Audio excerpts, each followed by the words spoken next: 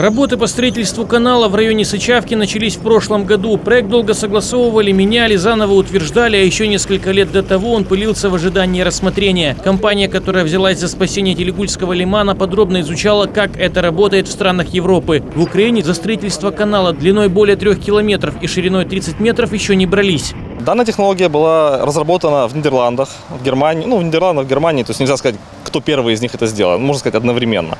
А, все каналы а, современные, которые похожи в Нидерландах и в Германии ну, так, такого же плана делаются по такой же технологии. Материалы, э, которые используются, а это новый материал, а я, я говорю конкретно про э, ПВХ, поливинилхлорид, э, шпунт, э, то есть до этого, ну, скажем так, 5 лет, 5-6 лет он только используется, да, и вот в Украине он использовался для укрепления мелких водоемов, это разнообразных прудов. Морская часть самая сложная, уже почти готова. До конца года водой начнут заполнять небольшие озера, которые за последние пару лет успели высохнуть. Раньше сюда прилетали летали птицы, чтобы развивать потомство. Сухая земля никого не привлекает. В планах на ближайшие пару месяцев у реализаторов этого масштабного проекта заполнить Илигульскую пересыпь по уже имеющемуся руслу морской водой. У нас сейчас катастрофическая ситуация в Телегульской пересыпи. А параллельно будем продолжать работы по каналу. Вот как вот здесь видно, полностью будет укрепляться канал шпунтом по всей длине 3,5 километра, для того, чтобы не размывались берега. И мы надеемся, что сами работы мы закончим к концу следующего года. По всей длине канала. Сам э, лиман уже на полтора метра ниже уровня моря. То есть здесь главное, чтобы вода прошла через морскую часть, и дальше она уже пойдет самотеком в лиман, она впитываться никуда не будет. Она как наоборот пойдет потоком. Мы даже поначалу будем аккуратно запускать воду для того, чтобы не было гидроудара. Причин пересыхания Телегульского лимана несколько, но главное – человеческий фактор. Мелкие фермеры продолжают распахивать русло рек, наполняющих Телегул. Водоем остается практически без подпитки. В соленом мелководье не водится рыба, не выживает. Мир э, гидробионтов в самом лимане, он, конечно, меняется. Почему? Потому что если учитывать тот фактор, что 15 лет назад Телегульский лиман был наполовину пресный, э, там, соответственно, была пресноводная рыба, как и пресноводная, так и морская.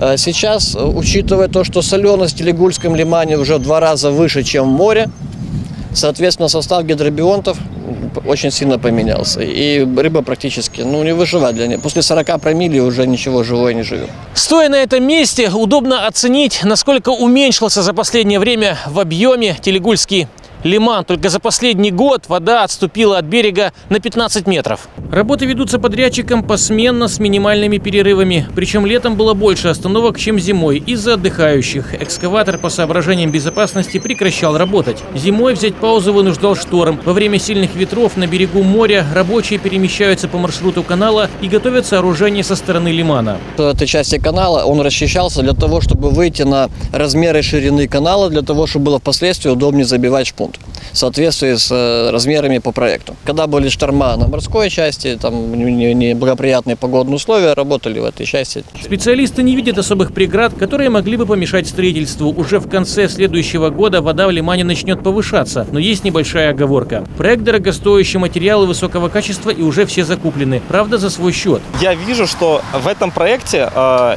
нет э, попытки сэкономить на материалах. Нет попытки сэкономить на э, разнообразных, допустим, видах работ. То есть, э, да, бывает, разных проектах ставят условия, когда э, нам ну, бюджеты до такой степени урезают, что э, необходимо что-то искать. В этом проекте все материалы, которые заложены в проекте, они им соответствуют. Поэтому здесь нет такого, что где-то там заложено одно, сделано другое. Все можно сверить, все сделано так, как согласно проекту. Область свои обязательства выполнила. Проект спасения Телегула профинансирован. В октябре должны прийти деньги из госбюджета, поскольку восстановление естественной среды в Лимане – проблема ни одного региона.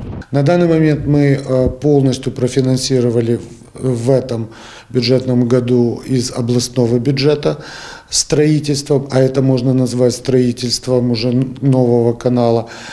А, и э, к началу октября ждем поступления из государственного бюджета, потому что этот проект э, ну, работает в рамках софинансирования. Мы ожидаем из э, государственного бюджета более 13 миллионов гривен.